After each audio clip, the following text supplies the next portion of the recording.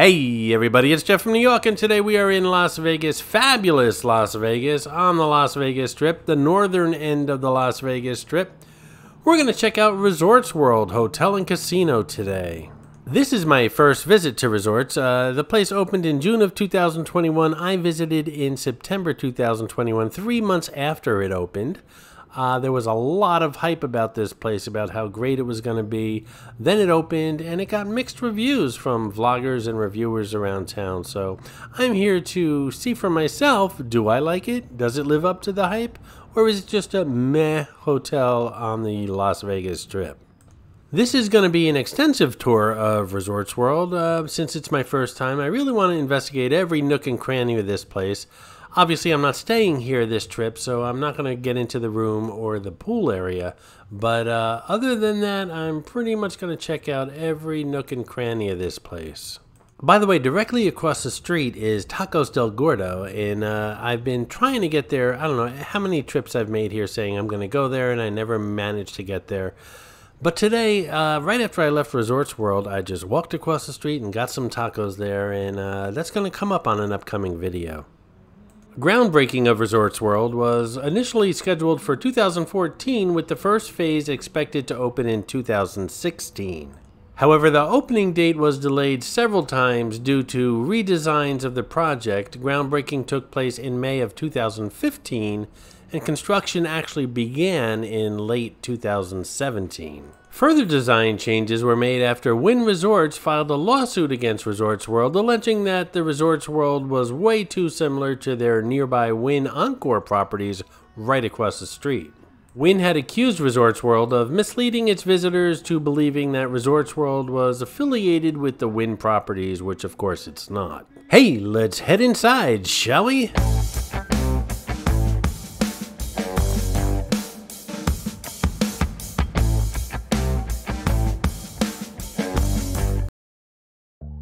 So we came in through what I consider the main entrance, and it's obviously very inviting as soon as you walk in. And on the left hand side, the first thing you see is Zouk Nightclub.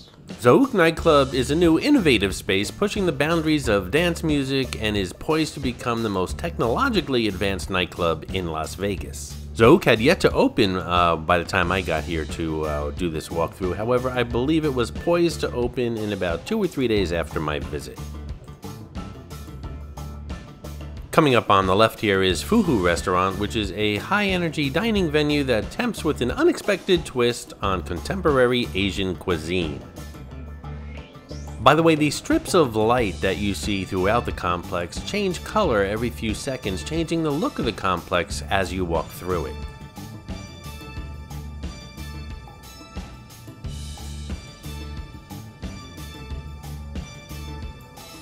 Now we're passing Red Tail on the left hand side. It's a new style social gaming bar where guests can enjoy premium beer, wine, cocktails, and shared plates while playing a variety of games like beer pong, darts, and billiards. Have I mentioned I'm a world class dart player? I'm sure I have.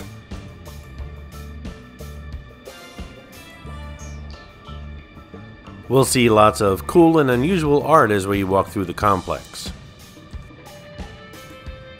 And on the opposite side of this atrium is Mulberry Street Pizzeria.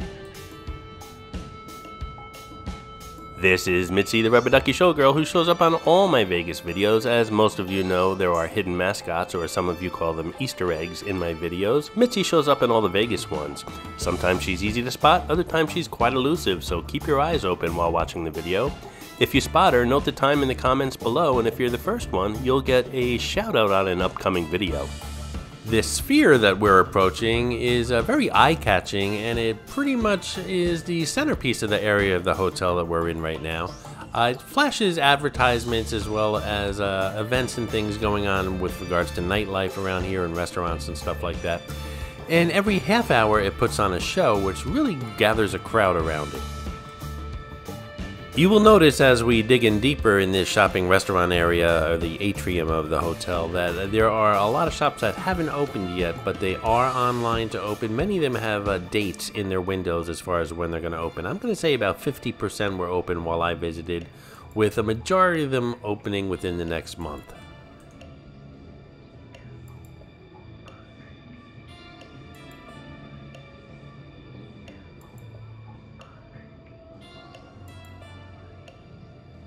And coming up here on the left is Wally's Wine and Spirits. It's an institution widely beloved by Angelinos and Hollywood celebrities for decades. Wally's blends a restaurant, wine bar, and specialty gourmet market, creating a one stop tasting and shopping experience. As I walked by Wally's, I casually glanced at what people had ordered, and a lot of them ordered the charcuterie board. You can get them in a couple different sizes. Charcuterie board being a uh, platter of cheeses and meats and crackers and stuff like that, and they were all, of course, drinking wine with it. It looked really good. Seems to be a specialty here at Wally's.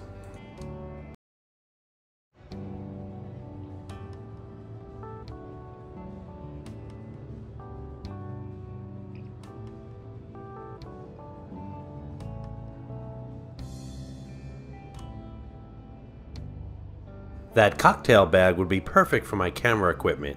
What do you think? This is Gatsby's Cocktail Lounge right at the edge of the casino here, and uh, we'll get a better look at it in a couple moments, but it's very purple, kind of cosmopolitan-ish.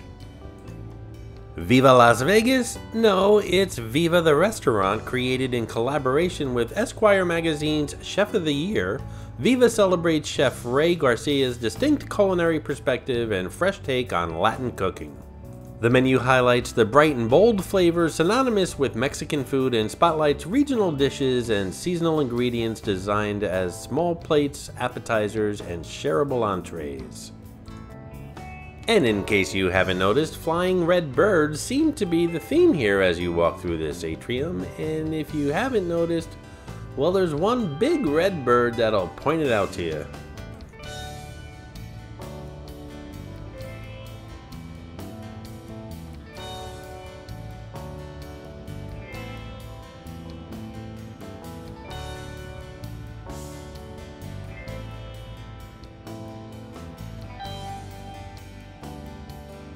Again, lots more of these strip lights changing color as you walk by.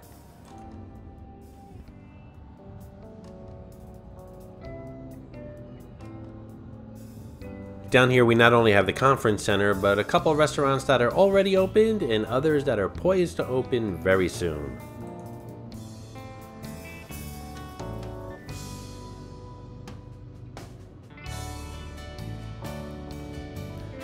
And coming up here on the right is Brisa. Embracing the traditions of Italy, Brisa features a menu of modern coastal Italian fare with homemade pastas and premier seafood along with crafted cocktails, including signature Negronis.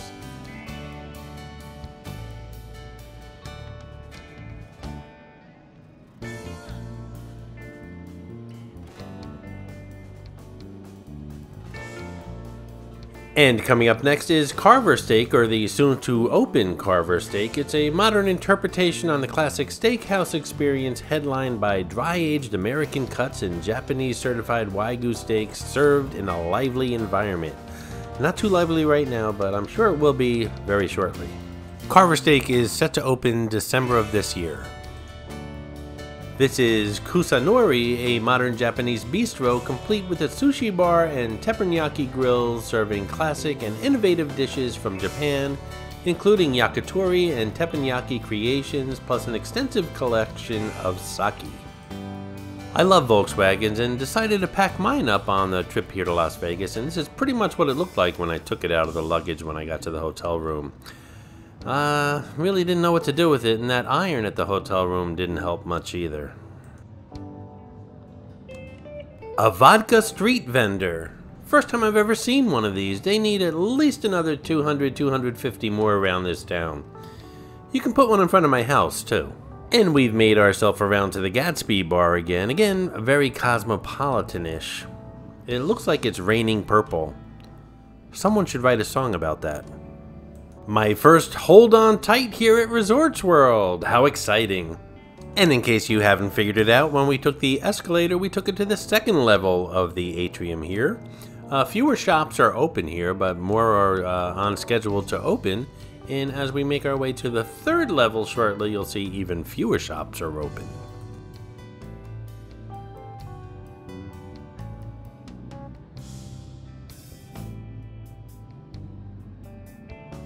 here's a little advertisement, or maybe not so little, for Street Eats, which is the uh, food court here, a world class food court at Resorts World. Uh, it's got vendors from around the world, and we're going to check it out later in this video. And a view of the atrium that we've been walking around from the second level, and that huge sphere is now a Major League Basketball basketball.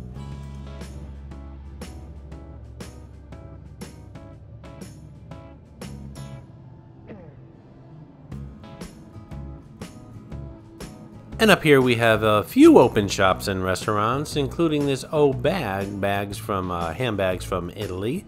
And the shop owner is frantically running around the shop trying to figure out which bag is setting the shoplifting alarm off.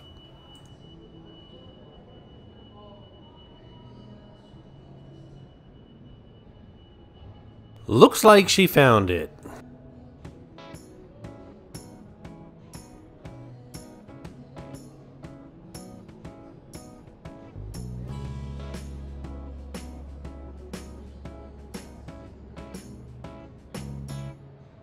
And now it looks like our huge sphere, which I really can't take my eyes off since I've been in here, has turned into a huge emoji.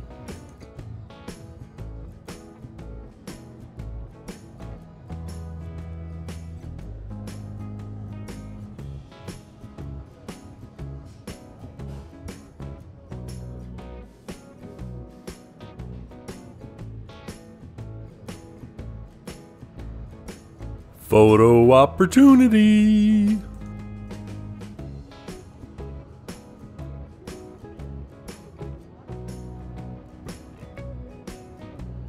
This is Elephant's Closet, a little bit of this and a little bit of that, but good luck if you're looking for some of those.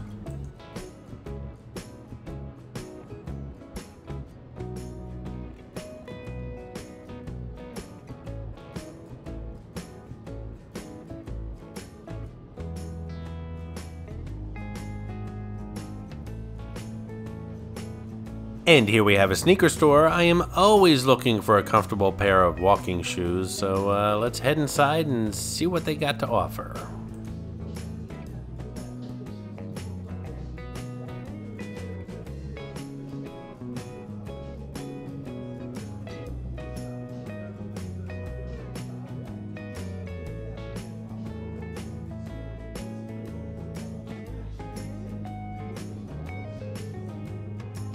I've really raked up quite a collection of uh, sneakers over the years, especially doing this vlog, and uh, I see a lot of nice things that I like here, but it's really overpriced and I can get a lot of this stuff back home cheaper. I'm not really brand loyal when it comes to sneakers. I do a lot of walking on these trips and as you can imagine my uh, feet, knees, and hips really take a beating.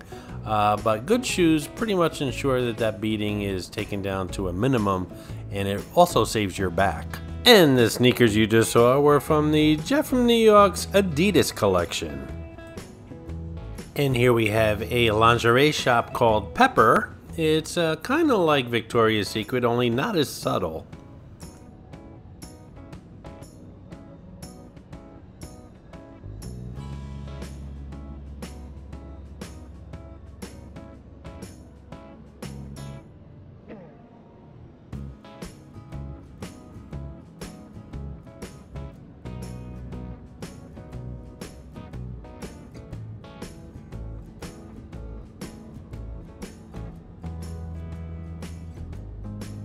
We're heading into a big open area here. I'm not sure what the plans are here at Resorts World for this area. I'm not sure if it's more of a convention area or more retail shops or restaurants or clubs. I guess we'll find out eventually. Lots of open space up here, and here are some of the uh, acts that Resorts World has procured, including Celine Dion, Carrie Underwood, Katy Perry, and Luke Bryan. And it looks like that Carver Steaks is going to be a two-story restaurant because there's a second floor entrance here that has yet to open. Every time I see an open space like this, I think to myself, can you play roller hockey here? And in this case, yes, you can. Years ago, I was in a roller hockey league. I played guard. I broke a few ribs. I stopped playing roller hockey. Good news, I have all my original teeth. Hello? Hello? Hello? Hello? This convention center is huge and lots of ballrooms as well.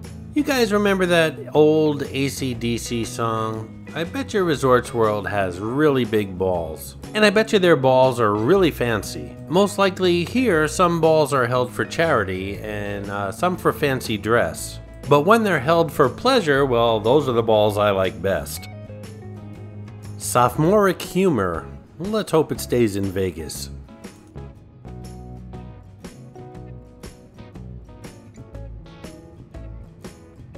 And now we're going to head up to the nosebleed section of this atrium. Hold on tight.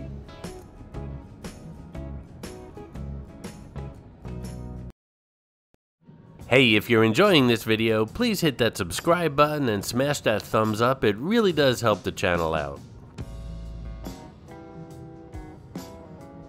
Stay tuned, there's a lots more to this video, including not only the casino, but that international food court that we uh, touched upon earlier in the video, as well as Liberace's fur coat and limousine.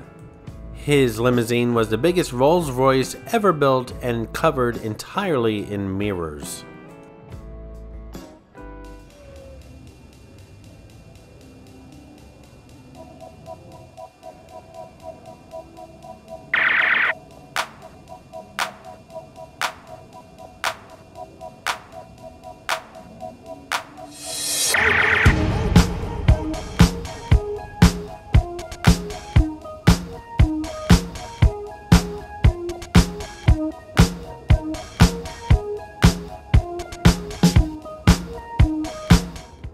Now we're heading into that famous food street eats, or the food court here at Resorts World, but you're not going to find a Wendy's or McDonald's or Johnny Rockets here.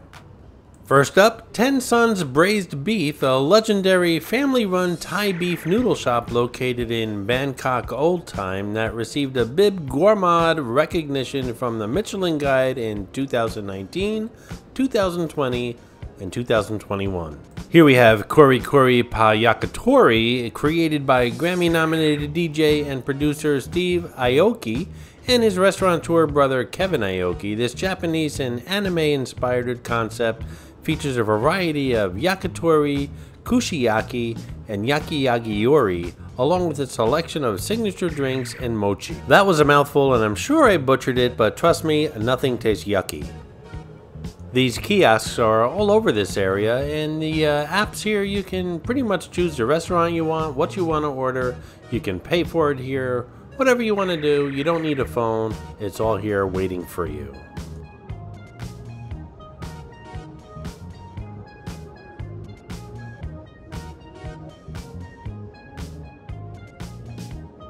This is Geylang Clay Pot Rice, founded over 40 years ago in one of Singapore's favorite clay pot eateries.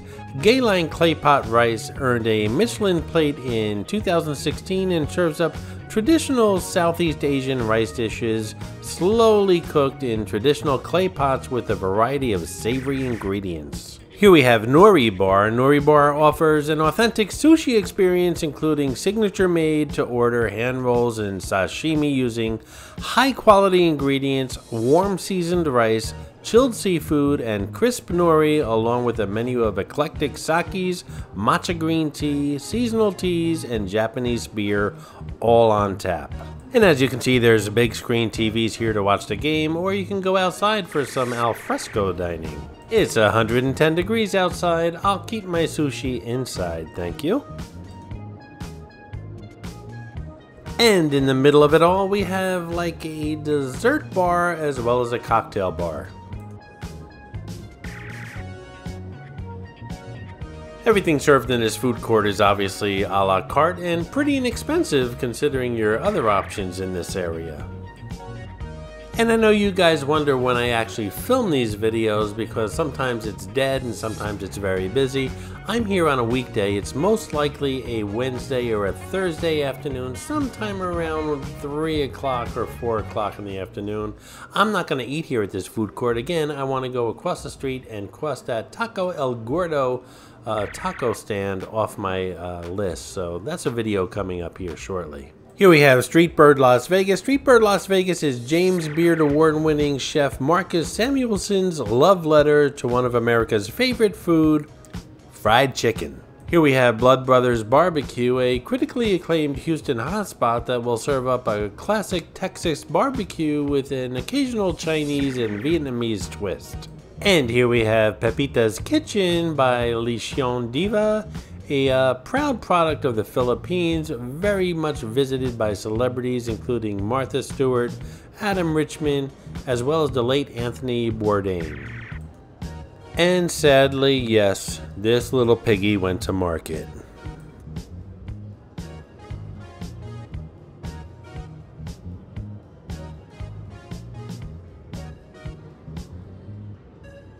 We saw the Fuhu restaurant earlier in this video. This is Fuhu Shack, which is a casual outpost to that restaurant. They serve up a Western interpretation of one of China's most desired dishes, Peking duck burrito. And in the middle of all this is kind of like a international marketplace snack shop here at Resorts World.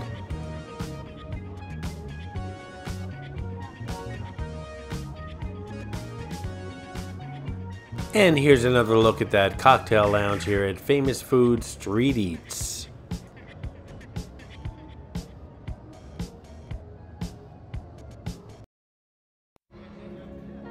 And as we continue our tour around the famous food street eats here at the Resorts World, we have Ah Chun Shandong Dumpling.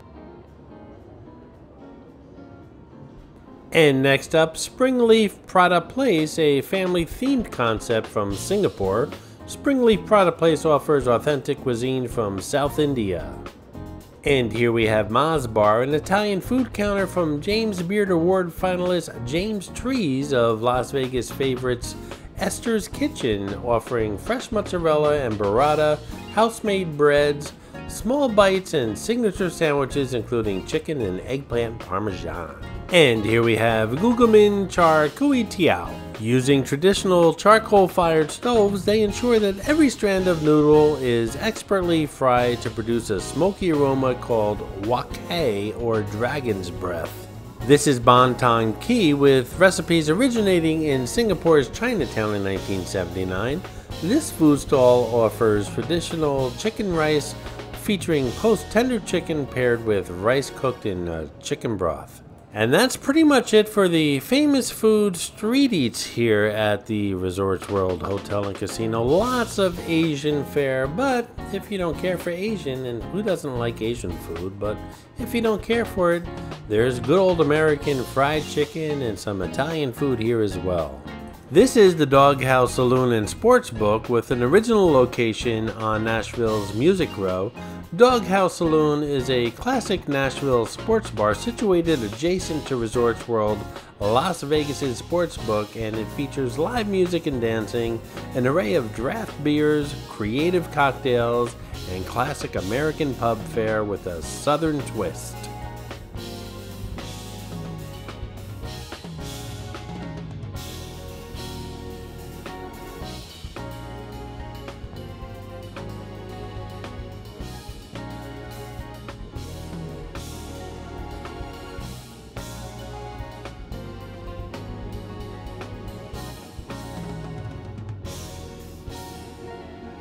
And here's the mouse house in case you're just looking for some snacks and not a full meal.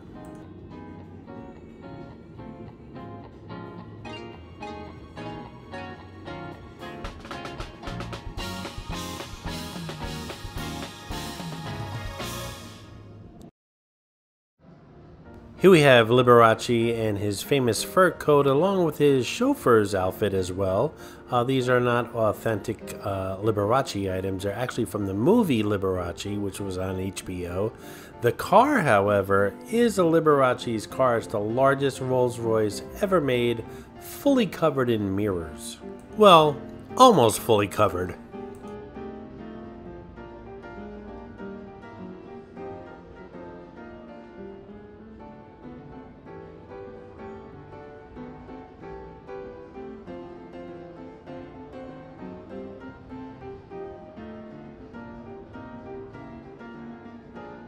And here's what looks like a Lego car, but it's not made out of Legos and it's not really a car. What is it? Yep, it's an upright piano. Or is it? It's not really upright. This piano defies description.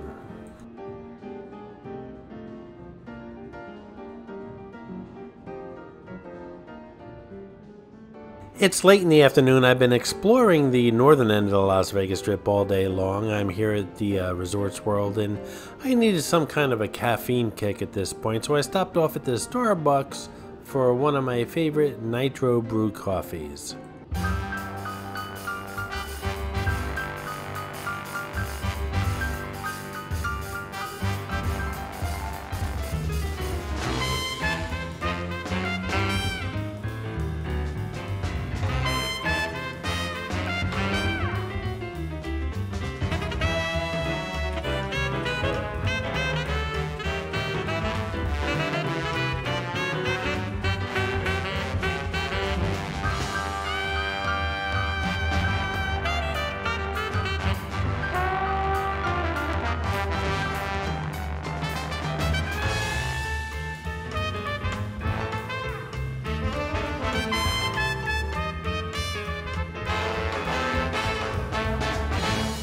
This is Marigold, developed by local Las Vegas entrepreneur Billy Richardson. Marigold features American staples such as burgers, lobsters, and house-made desserts, as well as craft brews, signature cocktails, and wine.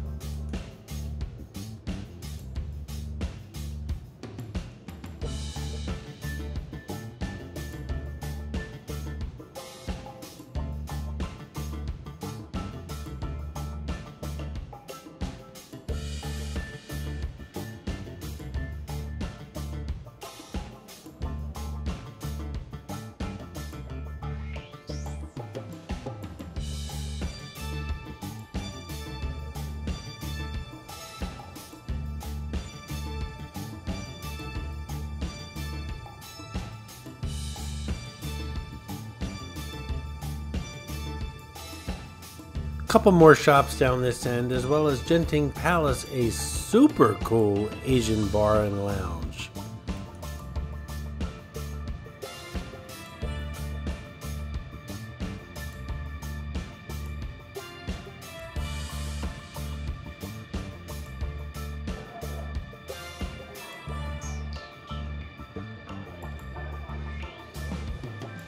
Donuts, anyone?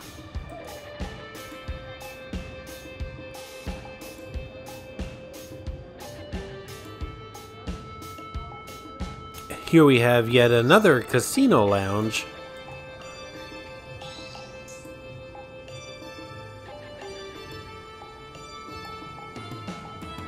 And here we have the kitchen, morning classics and afternoon delights such as burgers, wok fried noodle dishes, as well as a buffet option are served in a tasteful, casual setting overlooking the casino.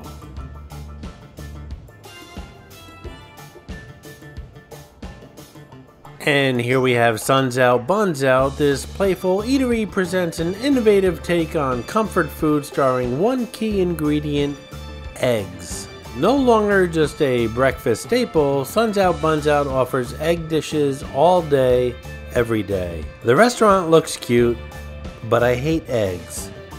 I won't step foot in this place.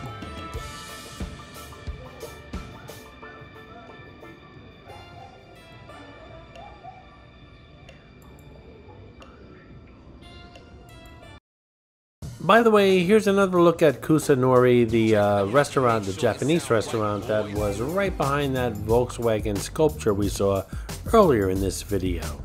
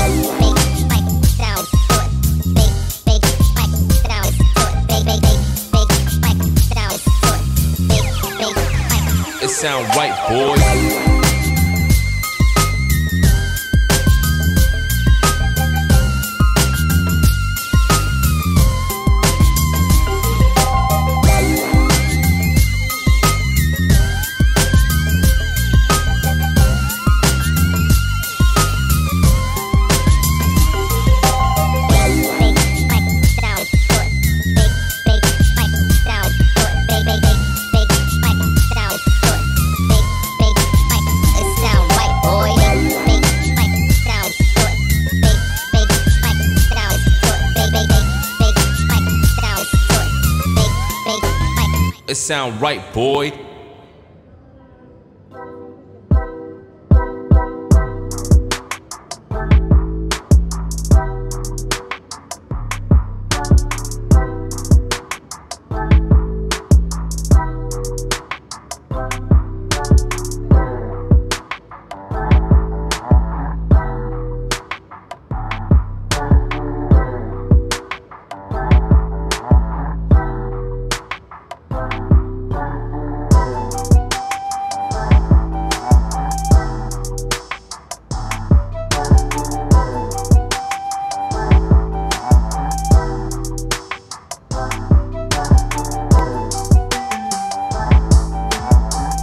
And that's pretty much it for the spanking brand new Resorts World here on the north end of the Las Vegas Strip. I thought it was a little outdated and worn down, but well, actually, just kidding. It's brand new. I kind of enjoyed the place. What do you think? Leave a comment below. I hope you enjoyed this video, and if you did, please like, comment, ask some questions, and most importantly, subscribe by clicking on the button on the left. You can visit all of my Nu Yawk videos by clicking on the top right, or check out my videos on other favorite places to visit by clicking on the bottom right. Thanks for watching and I'll see you around the city.